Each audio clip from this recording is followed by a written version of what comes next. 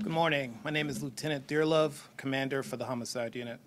Uh, We're here today to discuss two case updates for active homicide investigations and also request public assistance with identifying suspects involved in these incidents.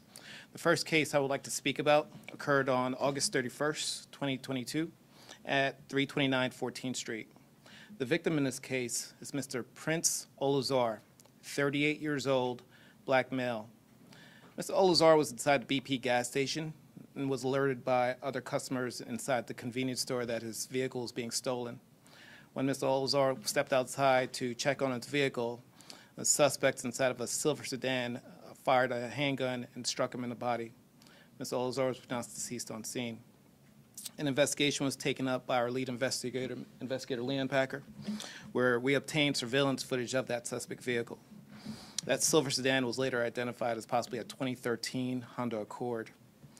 We provided a still shot of that vehicle along with a short video clip uh, to assist with identifying for our, for the viewers and um, community.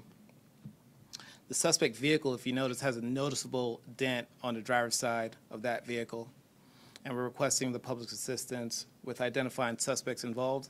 Maybe they saw that vehicle at the time of that night, or may perhaps before, during, or after the incident. We're going to need our assistance from our community. As we've shown, as we've done time and time again, the community support uh, makes us a much stronger city and department in solving these crimes and identifying suspects involved in these cases.